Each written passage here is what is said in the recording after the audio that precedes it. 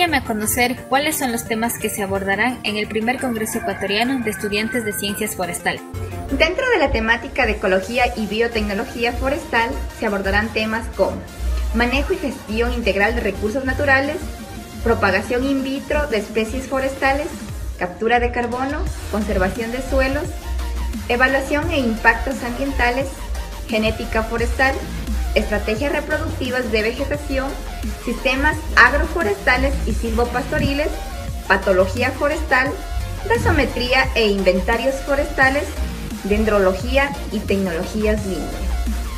No te lo puedes perder. Envía tu ponencia y participa en el primer Congreso Ecuatoriano de Estudiantes de Ciencias Forestales. Yo soy forestal de corazón y formo parte de la familia ESIFOR.